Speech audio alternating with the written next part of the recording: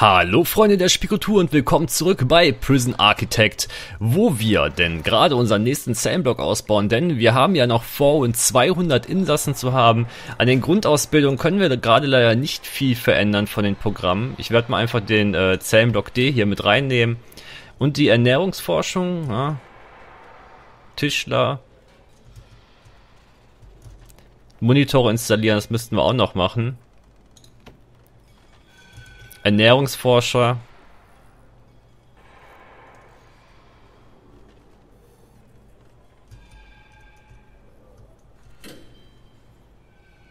Ein einziges schlechtes Mal für zwei Tage servieren. Da wird doch, da gehen die doch alle ab.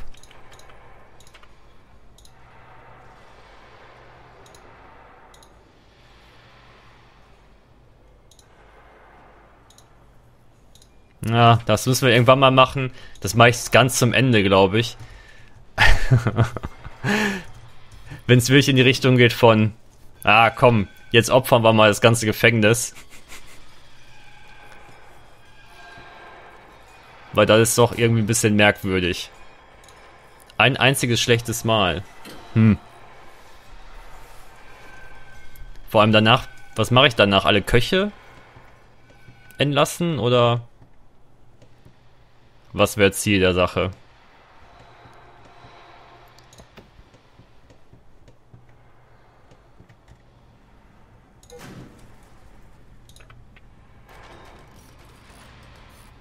Ah, gut, ein paar haben sich eingeschrieben für äh, anonyme Alkoholiker.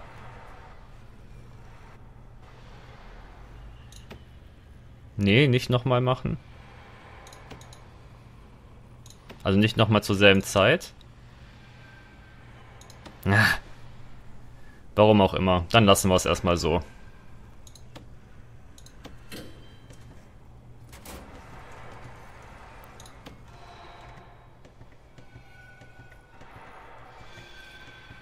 Schade, dass sich nicht automatisch in die Programme reinziehen. Obwohl, doch, das tun die irgendwie. Aber wenn ich die alle neu ansetze, ähm, dann fangen die ja irgendwie neu an. Ich weiß es nicht.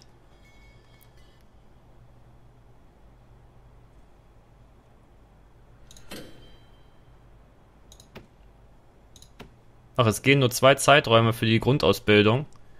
Für das Grundbildungsprogramm. Und die sind schon belegt jetzt. Dann ist dem erstmal so. So, raus da, damit sich das aufbauen kann.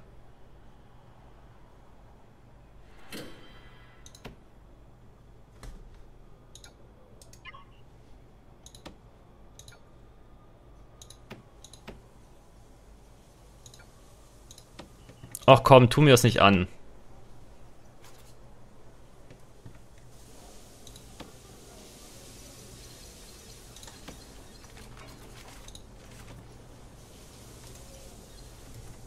Wo seid ihr? In der Stunde kommen die ganzen neuen Insassen. Und hier kann er nicht mal die Tür demontieren.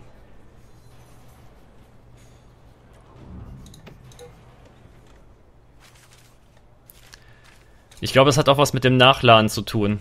Dann spackt der gerne mal rum.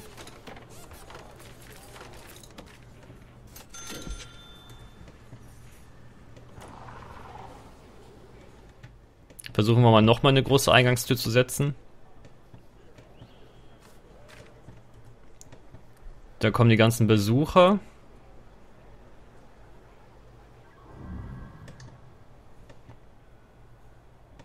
Da finden den einen oder anderen Löffel.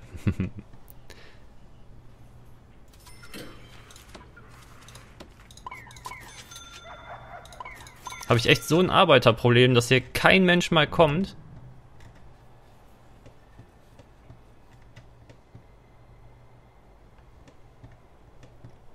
Das macht mich gerade doch ziemlich traurig. Ein anderes Problem ist, warum Gehen die hier nicht vernünftig die Personaltür?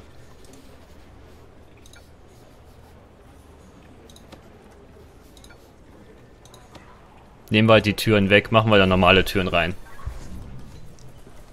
Wenn die was klauen, kriegen wir es eh mit. Eigentlich, ja, größtenteils kriegen wir es mit.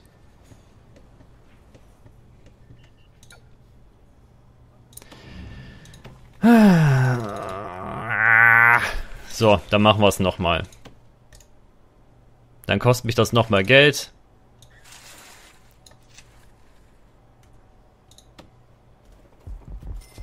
Aber Hauptsache es ist fertig. Vor allem ist die Tür falsch gesetzt.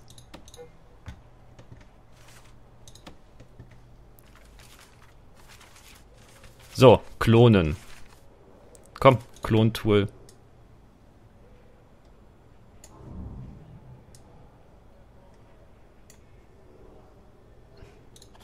Weil jetzt können wir es wirklich eins zu eins klonen.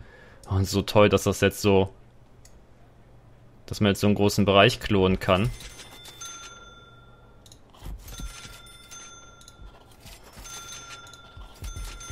Da kann man richtig geil zusehen, wie das Geld wegflö also flöten geht.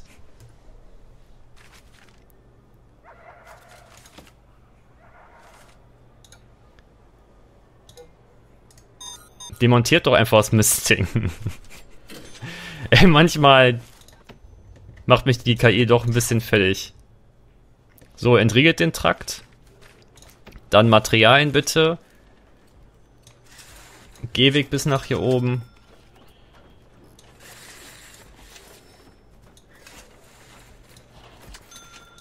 Und bitte ein wenig beschleunigen eure Arbeit. Danke.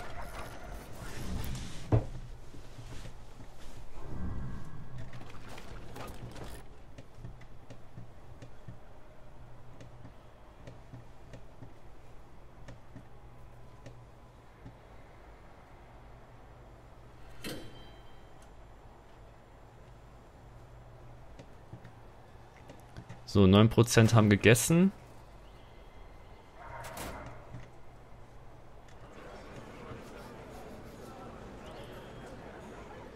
Geht doch rein zum Essen.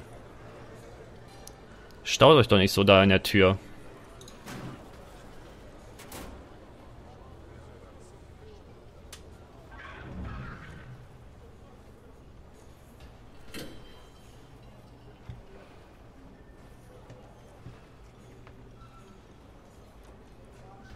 Hm.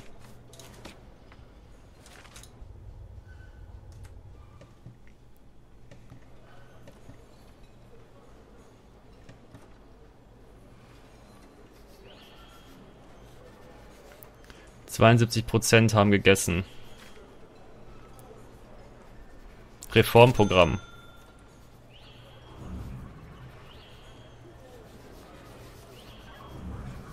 Auch umso länger die anwesend sind, umso höher ist die Chance, dass die bestehen können.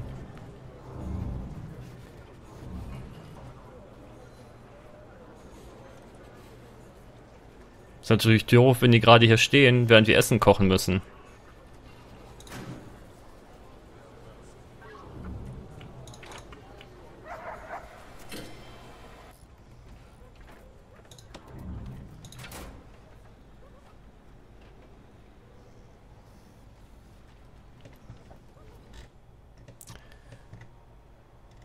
Ist natürlich nicht anwesend, der Schalwiner.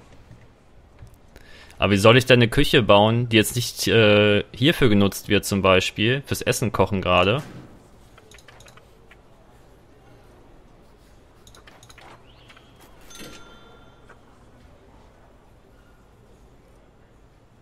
Weil jetzt können die Herrschaften natürlich erst anfangen zu kochen.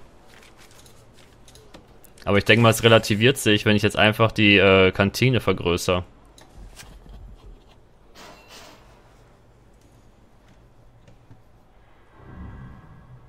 Dann sollten die auch vom Kochen her besser klarkommen.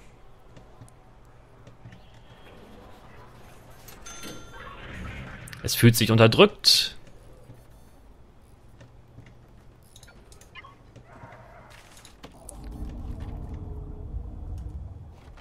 Warum meckert es? Es hat kein Wasser.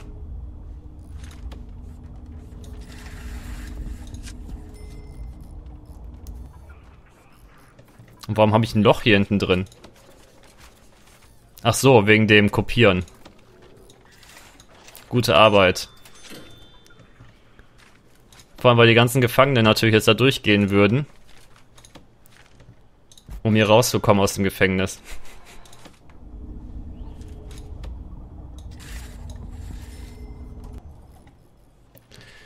So, jetzt haben wir wieder genug Zellen. Morgen kommen aber schon wieder 17 neue Insassen.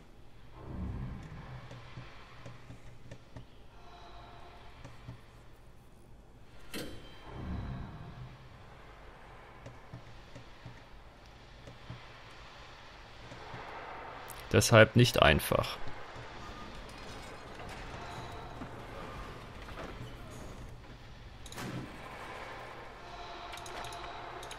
Hm, nicht Bedürfnisse ausgehen.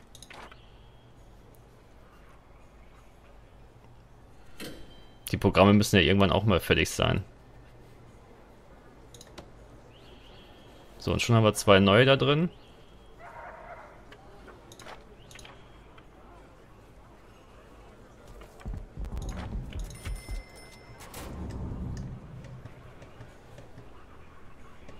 Und 80 Millionen Löffel wieder geklaut. Äh, bom, bom, bom. Wir sind mal so frei und lassen hier... Warum ist die Tür eigentlich noch nicht abgebaut?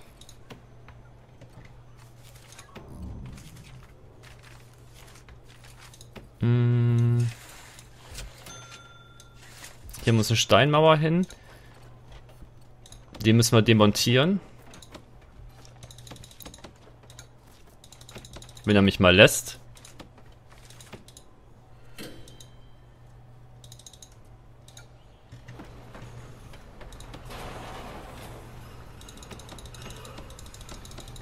Oh, backt die Tür auch. Vielleicht liegt es an der Tür, dass ich ja hier die Probleme habe. Ah ne, jetzt hat das weggeschmissen. Hm. Obwohl gar nicht geplant war, die wegzuschmeißen. Oder ich habe es vielleicht aus Versehen geklickt. Ist auch egal. So, erweitern wir mal die Kantine. Die Küche erweitern wir auch bis nach unten. Dann werden wir ähm, hier zwei normale Türen. Hier oben auch. Den könnte das Spielwerk könnte auch erstmal abmachen.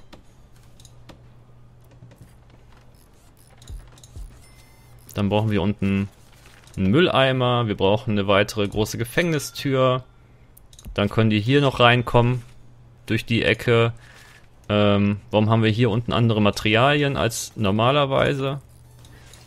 Machen wir da mal Betonboden hin. Oder ist das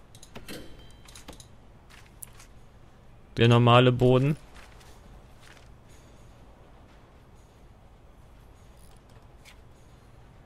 Ernährungsforschung an Gefangenen.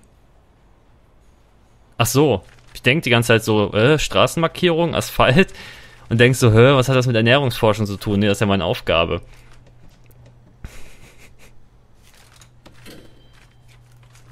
Wie spät haben wir? 3 Uhr morgens. Ist ein bisschen spät für eine Razzia, ne? Aber eigentlich müsste ich es machen. Wie sieht es mit der Schmuggelware im Moment aus? Werkzeuge, Drogen, relativ viel. Komm, wir machen es einfach mal.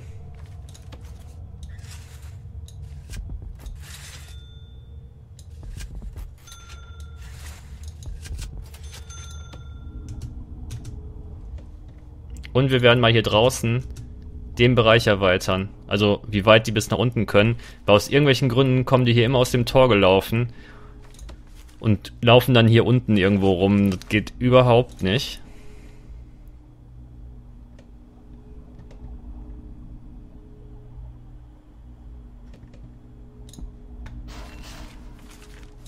Warum muss immer wieder eine Wache kommen, das Tor da unten aufmachen?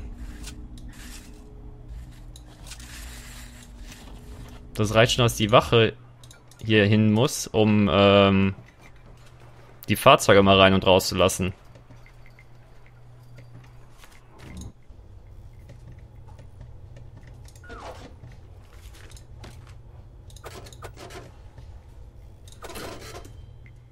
So, check.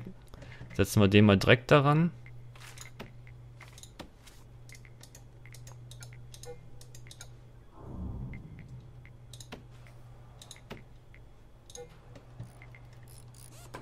Genau, baut das letzte noch auf.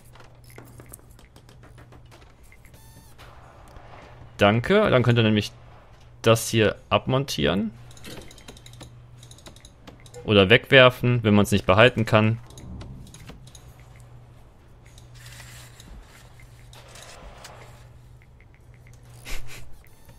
Sehr geil. Trägt er das riesige Tor da erstmal weg. Jetzt müssen wir natürlich die Stationierung verändern.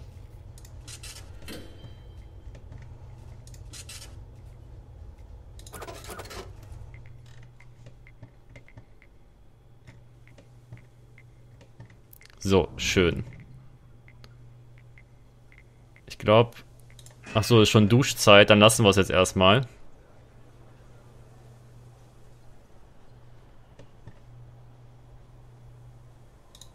Es haben gestern nur 25% der Gefangenen gegessen.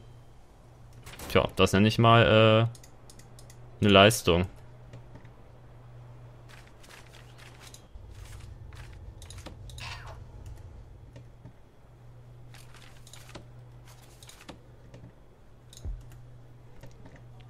So, Personaltür dahin.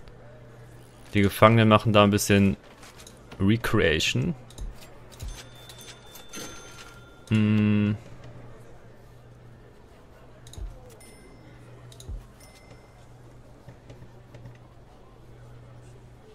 Ja, hier unten neben den Mülleimern.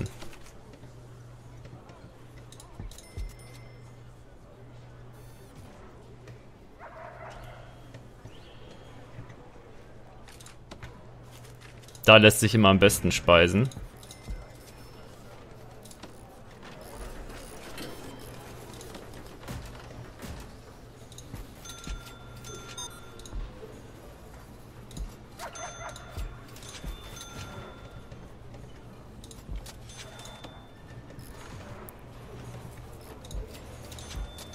Drei, vier, fünf und dann brauchen wir auch noch Spülbecken.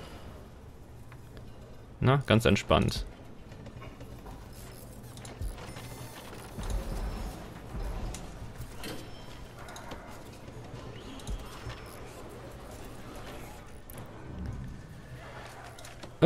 Bom, bom, bom, bom. Tische.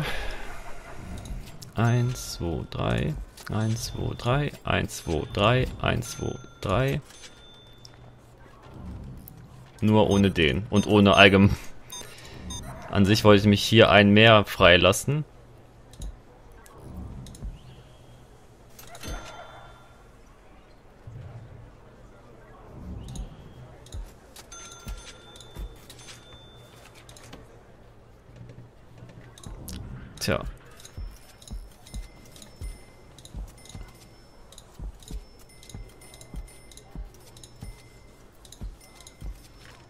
Und schon haben wir eine ganze Menge mehr Platz für die Gefangenen.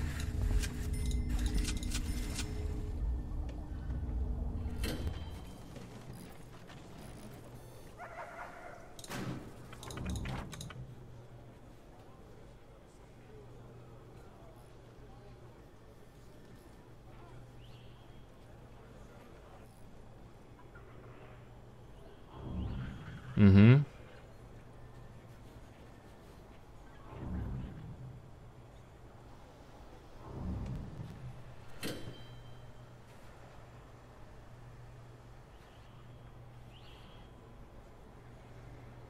Das sind die Küchenunterweisungen. So, die Grundausbildung ist jetzt bald zu Ende.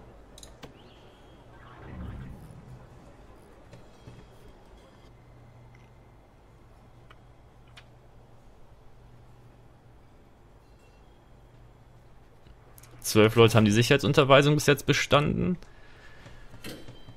Wir haben 142 Insassen. Morgen kommen wieder 17 neue. Ich habe noch nie gesehen, dass hier jemand zu den anonymen Alkoholikern gegangen ist. Oh, wir haben einen Interessierten für Lehrstelle als Tischler.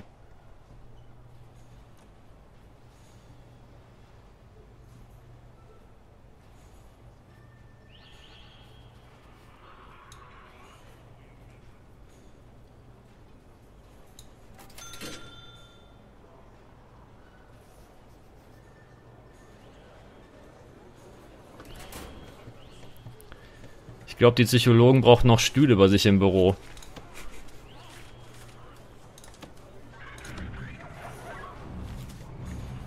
Wenn wir dann irgendwann diese Verhaltenstherapie auch anbieten wollen. Komm, können sich sogar aussuchen, welchen Stuhl die wollen. Ach Leute, versucht doch nicht immer so viel zu klauen. Als wenn das irgendeinen Sinn macht.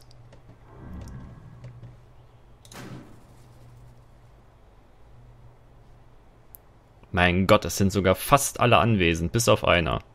Der hat einfach keine Lust.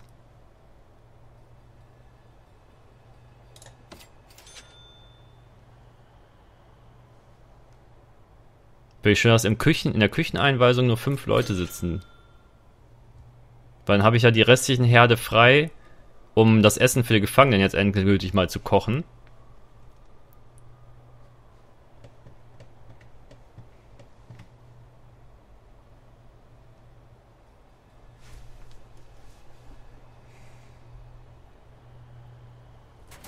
Und da fällt mir ein, äh, Tischlerunterweisung schön und gut. Wenn ich denn auch hier diesen Zimmermannstisch habe.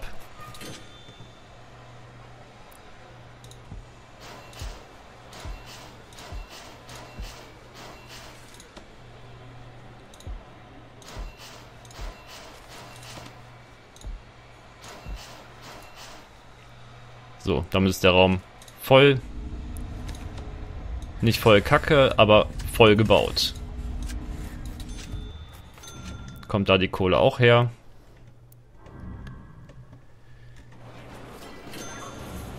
Das könnte schlecht werden vom Strom her. Deshalb, bester Plan. Mm, neuen Generator bauen. Und das alte Stromnetz vom neuen trennen.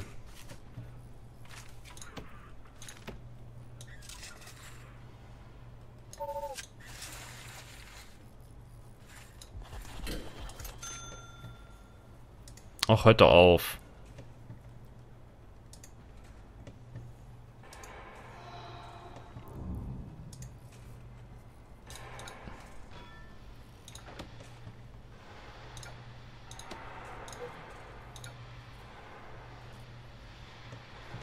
Jetzt reicht's mir.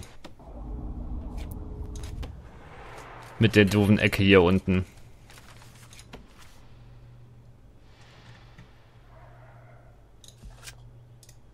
Obwohl, ah, ich weiß, was ich machen könnte. Äh, ah, ist doch schon nur für Personal.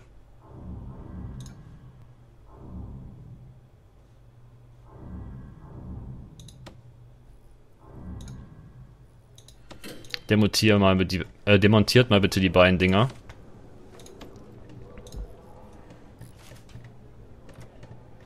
Und dann setzt da bitte wirklich mal die Personaldinger.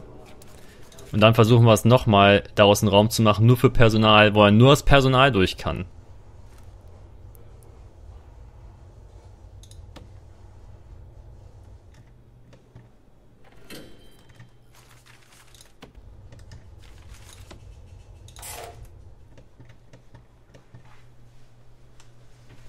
Kommen irgendwie immer noch nicht alle zum Essen.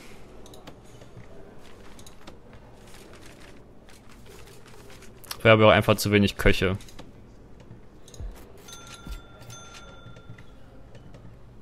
Hm, den kann ich leider nicht nach oben drehen. Ich glaube, da hat auch mal jemand nachgefragt, ob das nicht möglich wäre. Wie du siehst, es geht leider nicht.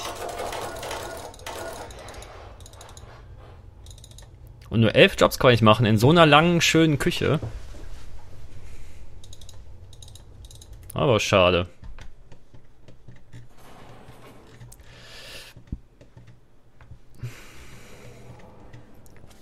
Ja, Strom ist knapp. Äh, Personaltür. Aber, naja, zeitlich sind wir eh erstmal am Ende und werden dann nämlich beim nächsten Mal weitermachen, wenn es wieder als Let's Play Prison Architect mit dem schönen großen Gefängnis was vielleicht eines Tages äh, noch schöner und größer sein wird. Bis dahin, ciao, euer Doc.